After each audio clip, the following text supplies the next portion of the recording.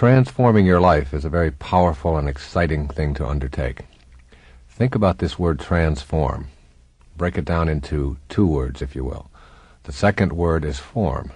It means the physical world that you live in and all the boundaries that we experience in our life. That's our form. It's our body. And then trans, which is a prefix that is put in front of our form. And the prefix trans means to go beyond, to soar above, to go past. So transforming really means going beyond your form. That is, going beyond the limits of your body, if you will.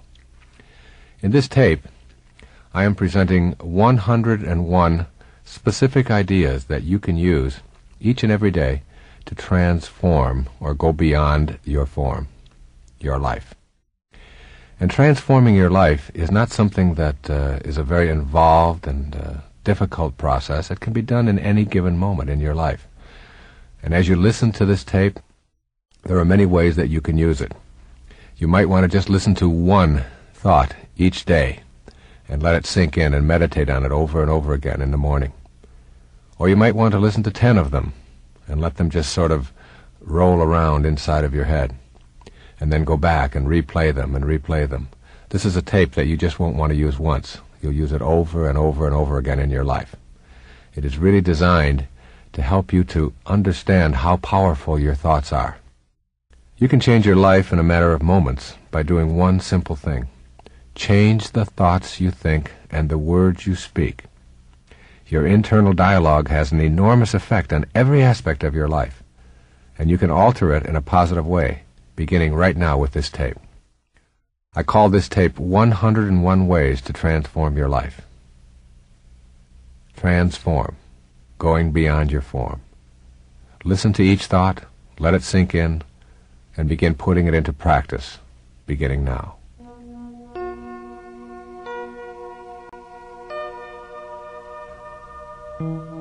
Number one, know in your heart that there is an invisible intelligence in everything and you have the power to make contact with this divine intelligence and create a life of bliss. There is something divine that rolls through all things. You can't get a hold of it? A little seedling has treeness in it when it is put into the ground. You can't see treeness, you can't see the tree, yet you know it is in there. And same with you. You have greatness, you have an energy that is so powerful and it flows through you and in everything that you come into contact with. Know it, begin to trust it, and you'll find yourself experiencing transformation in your life. Number two, this is your sacred quest. The doorway to higher levels of awareness in your life opens inward. And most of us spend our lives facing the wrong way, looking outside of ourselves for the solutions to our problems. Where inward, in that silent, quiet, empty space within, is where the universal intelligence lies. It is where your essence as a human being is. Begin to look inward rather than outward each day. Number three, become aware that there are no accidents in our intelligent universe. Realize that everything that shows up in your life has something to teach you. Appreciate everyone and everything in your life. You need to begin looking inward at who you are and why you are here, instead of outward at the physical world or anything in it. Make this a day of appreciation, a day of being in awe and bewilderment of everything that you come into contact with. Appreciate your liver. Appreciate your eyes. Appreciate your legs. Appreciate your mind and everything that you come into contact with. Instead of judging it, just appreciate it. Number four, draw your inner energy from the beauty that surrounds you. When you do so, this energy reception will become a source of strength and sustenance in your life. As you begin practicing beauty appreciation and seeing it in all things that you encounter, including all people, as you begin to see the fullness of God in everyone rather than something to judge, you'll find a new kind of bliss in your everyday life. Number five, be peaceful, experience silence, meditate, and really listen to God. The result will be that you will find the solution to each and every one of your problems, whether it be related to relationships or finances, health or self-image, all within yourself. The peace and the quiet and the solitude all come from an understanding that God's one and only voice is silence, as Herman Melville reminded us. And if you can just be, even for one moment today, just peaceful and just go within, you're going to find a bliss that you perhaps didn't ever know before. Number six, forgive yourself for your transgressions. See that mistakes are lessons for you to transcend. Release yourself from the tyranny of self-recrimination. Make the decision to be free. Everything that's ever happened to you in your life has happened for a reason. And when you are filled with an absence of self-forgiveness and you're full of recriminations about what you did or shouldn't have done or what you should have done, all of these kinds of things are really a message that you're sending to the universe saying, God's plan doesn't work and mine does. That's really an insidious thing to say. Everything that you've done or experienced is over, and you had something to learn from it. So forgive yourself and move on with your life. Number seven. Write down this ancient truth and reread it on a daily basis. When you seek happiness for yourself, it will always elude you. When you seek happiness for others, you will find it yourself. Number eight. Attempt to remove all enemies from your thoughts. The same intelligence that flows through you flows through all human beings. When you know that you are connected to all, you cannot fathom striking out at others, let alone feeling hatred for them. Or another way of saying this is, on a round planet, there's no choosing up sides. We all are here for a reason. We all have the same divine energy flowing through us. And when we stop thinking of ourselves as separate from everyone else, we begin to see and experience the love that we are here for in the first place. In my opinion, God doesn't want us to love God. God wants us to learn to love each other. That's what it means to be a holy being, to not have enemies, and to love each other. That's truly what loving God is about. Number nine. Release everything that you have been told is impossible or unrealistic and allow yourself the freedom to make your own contract with God about what is possible for you. Examine all of the doubts that you have about miracles and miracle workers and replace the doubt with openness. Be open and release everything that you hate.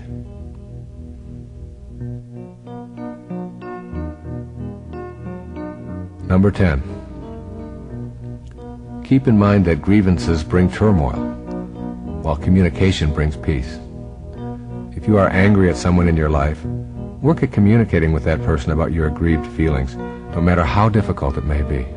One of the things that really destroys relationships is the unwillingness to talk or be open about the things that are difficult for us to talk about.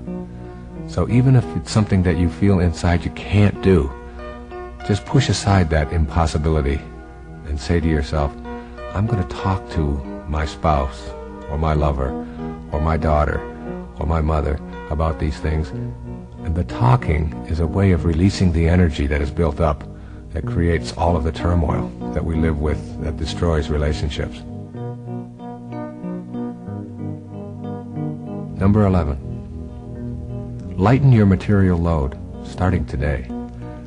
As you do so, less energy is spent hoarding and insuring and moving and polishing and so on.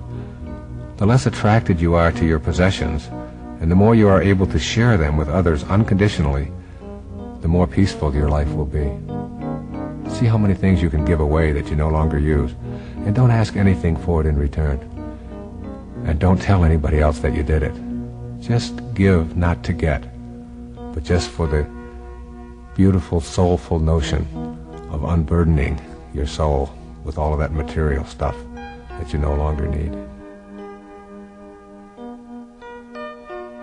Number 12. Work at being content with who you are rather than pleasing others by being unauthentic. Say to yourself, I am what I am, and it is okay as long as I am not hurting anyone else in the process. You have a right to be who you are, and the only morality that you have to be concerned with is whether somebody else is being hurt with you being who you are. You don't have to apologize for anything or anyone. You don't have to apologize to anyone for anything that you are. It's a wonderful affirmation. I am what I am from La Cage aux Folles. I am what I am. Say it over and over again today. Number 13. Remember that what you think about expands.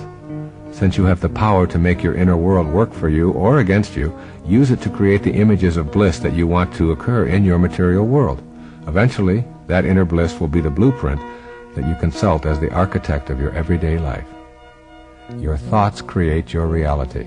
Once you know this, you'll start being very careful about what you think about. Number 14. Let go of the concept that more is better. This idea keeps us exclusively in the physical domain. You can replace the more is better belief with an inner serenity that does not need more to be acceptable. Let me ask you this rhetorical question as you consider this transforming thought. Where is the peace in more is better? And of course you know the answer. There is no peace in more is better. And if it doesn't bring peace to your life, then it's something that you want to discard. Number 15. Try to get back to nature today in some way. Give yourself time in the woods, trekking in the mountains, walking in open meadows, or walking barefoot on the beach. When you take the time to drink in the beauty of the natural world, you will release your belief that things and accumulations are needed for you to feel complete. There's a wonderful saying I used to tell all of my clients. The wilderness is therapy. Even if you live in a city, if you can just walk barefoot along the grass in a park someplace, you'll find yourself feeling more blissful. Number 16. Today, shed your fault-finding tendencies. Know that you are the creator of your life and that a loving presence is always with you. Your ability to be self-reliant will overtake your habit of assigning blame. Another way of saying this is that your life is the product of all of the choices that you have made up until now, and no one else is to blame for anything that is going on in your life. Circumstances don't make a man, they reveal him, as James Allen said. Number 17. Adhere to the most important guideline ever passed on to us from the spiritual world. Love thy neighbor as thyself. Make this a daily affirmation in your life, beginning today.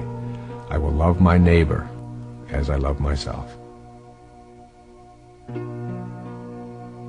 Number 18.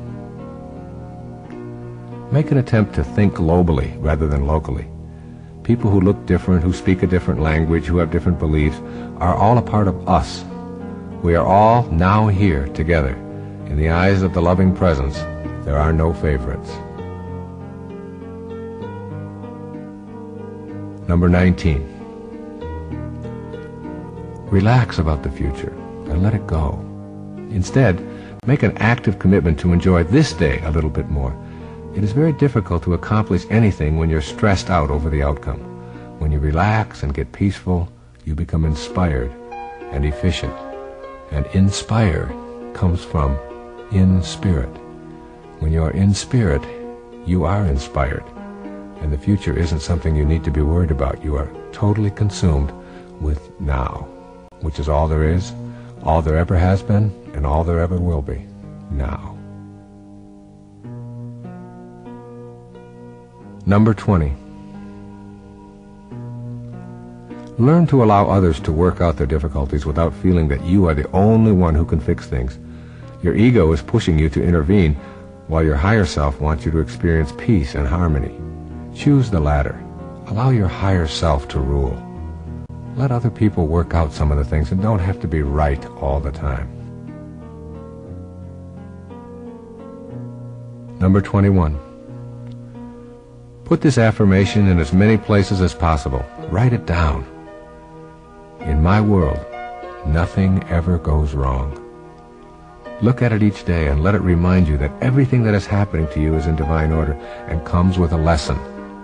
If you can live your life in the spiritual world as a spiritual being, having a human experience, you become the witness to your life.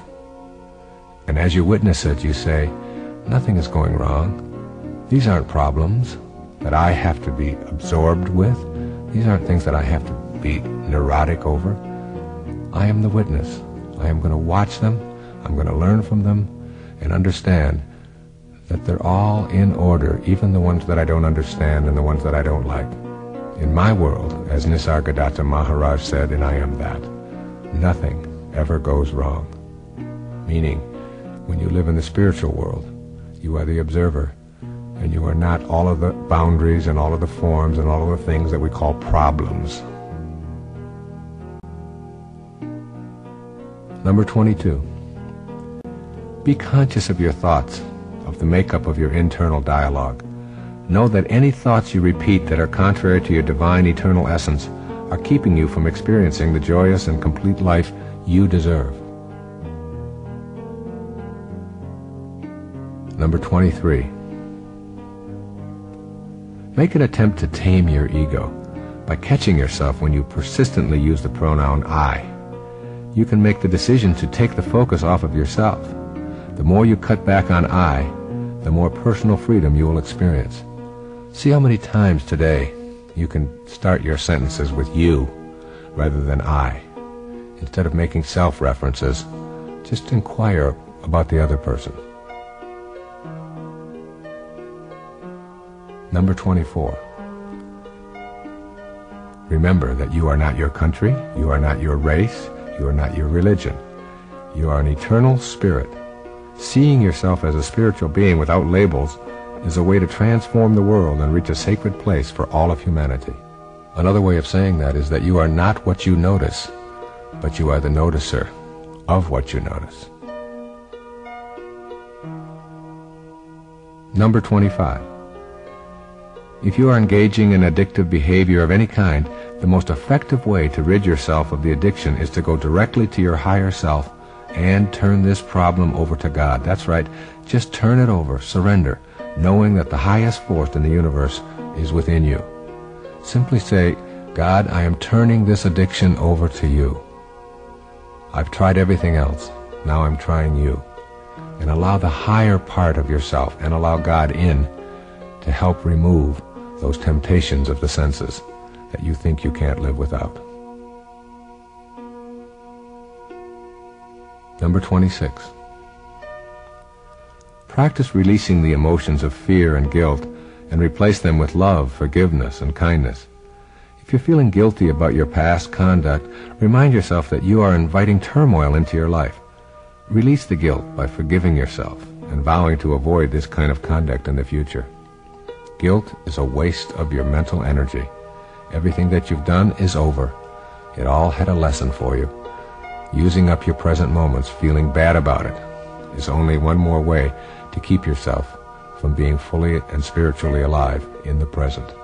Send guilt out of your life, beginning now. It's just a thought away. Number 27. Accept this seeming contradiction, the fact that your body will die and that you are also eternal. Surrender to this fact when someone dies and stop telling yourself that his or her death shouldn't have happened the way that it did. You can surrender and you can grieve. You do not die. That which was never born never dies. You are an eternal spirit, formless. You are transforming your life with this tape. Going beyond form means that you, the real you, the observer within, is ageless and timeless. But that which it is observing or noticing is bound by the need for things to begin and end. Number 28. Make a daily effort to look upon others without condemnation. Every judgment takes you away from your goal of peace. Keep in mind that you do not define anyone with your judgments, but only define yourself as someone who needs to judge. Or as it says in the New Testament, judge not, judge not, lest you too be judged. Number 29. Give yourself the gift of a silent retreat every day, even if it is just for a few moments. Go back to that key to higher awareness of shutting down that inner dialogue and know that this is your ticket to peace. You can just simply close your eyes in any given moment and retreat to that inner divine place that Robert Frost de- described in his poetry. We all sit around in a ring and suppose, while the secret sits in the center and knows. There is a secret within you, and you can only access it through silence. Give yourself a moment of silence. It's the greatest tribute we can ever pay to anyone. A moment of silence.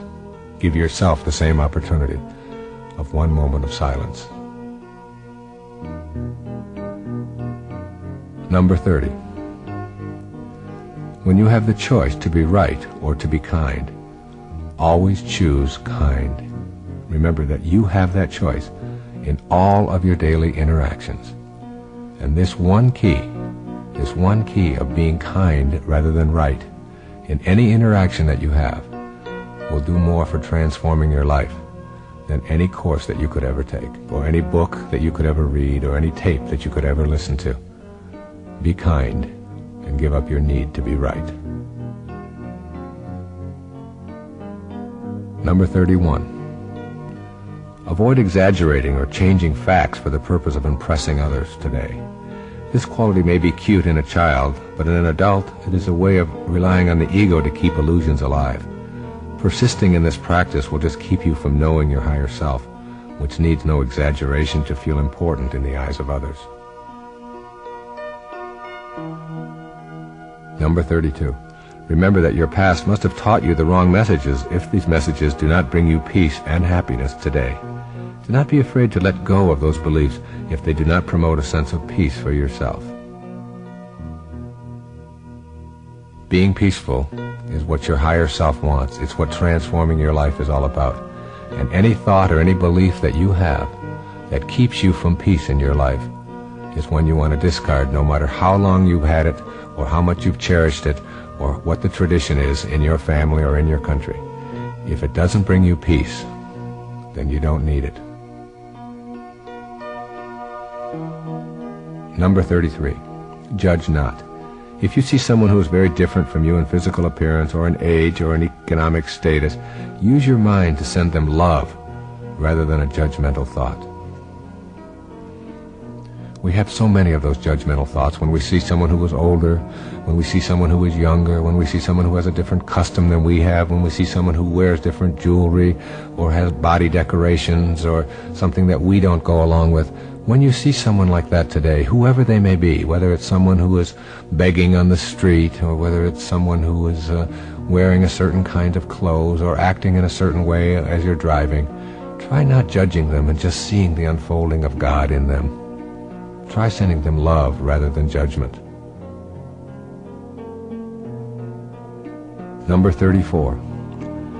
Begin to change the vocabulary you use to describe yourself and your expectations. Instead of saying maybe, if I'm lucky, or perhaps, and one never knows, use words and phrases such as absolutely, certainly, and I know I can.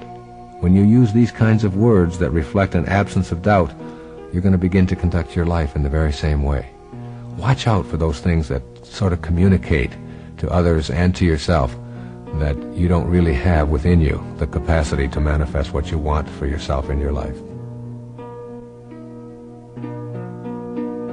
Number 35. If there is someone in your life whom you love, tell him or tell her how you feel, even if you're afraid to do so. By taking action against your fear of intimacy, you invite your higher self, that is your loving presence, to replace your ego's non-loving fear tactics. Just tell them, I love you. And if you feel the fear, then do it anyway. Number 36, you cannot have a better past, so abandon that idea right now. You did what you knew how to do given the circumstances of your life. Instead of indulging in regrets, let your thoughts remain on love and let your actions stem from that love. The past is over and you did what you knew how to do, and you no longer are that person. So don't fill yourself with blame and angst about what you might have done in the past. Learn from it and know that you are a new soul today. Learn from it and know that you are a new human being today. Number 37. Let go of all the beliefs that convince you of your inadequacies and shortcomings. Clean out that closet of worn out loyalties to what you can and cannot do. Just open yourself up right now in this moment. Just be. Number 38. Spend a day silently reciting the word love whenever you encounter another human being. This practice has such a positive effect that you may choose to use it as a silent background mantra throughout your day. Just repeat over and over inwardly. Love, love, love. And just say it. If you say it a hundred times, you're going to begin to feel the expression emanating and radiating outward from yourself. Number 39. Make an attempt to shift your career objectives from self-absorption to a calling. Use your talents and your special interests to fulfill your service with your calling. Your life work will take on a dramatic shift toward abundance, and you're going to begin to feel that you are on purpose. You have a calling. You are here for a heroic mission. Think of everything that you do in this day as a part of that calling, and you'll begin to rid yourself of some of the extraneous kinds of things and judgments that you have about your life. Number 40. Practice giving without receiving. Send anonymous contributions or gifts. Pay the toll of the car behind you. Put money into someone's parking meter. A feeling of peace and contentment will be your reward. Number 41. Be still and know. These four words will help you get past striving and help you get to know the bliss of being here now. When you allow yourself to be still, you will understand the futility of constant striving or chasing after more. Keep those four words in mind today. Be still and know. Number 42. In the midst of a tumultuous meeting or a frantic encounter with your children, get up and excuse yourself just for a moment. Give yourself five minutes to get centered and then ask God this question. What is my purpose here? And how may I serve you in the midst of all of this confusion? A simple removing of yourself from the turmoil and talking with God just for a moment will give you an inspiration to get past all of the turmoil and tumultuousness. Number 43. Spend special moments in awe of the miracle that life truly is. Awe is the loving appreciation for God's work in the presence of the divine intelligence. Be in awe. Number 44. Curb your need to be right. If you truly want to work on this area of restraining your ego, then simply respond to what someone has just said without offering an argument or even a piece of advice. As you practice this technique, your ego will fade and your relationships will improve. Number 45. Notice the acts of kindness that other people do rather than their wrongdoing. We are all good decent and loving souls, but we occasionally get lost. When you can focus on the good in another and hold that in your mind, you're acting from your higher self.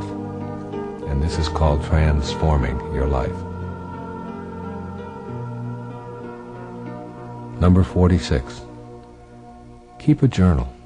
In it, describe what offends you about other people. If you can be objective, you will find that what offends you is really a judgment about how others ought to be behaving. These judgments are that false idea of yourself that is convincing you that the world ought to be as you are rather than as it really is.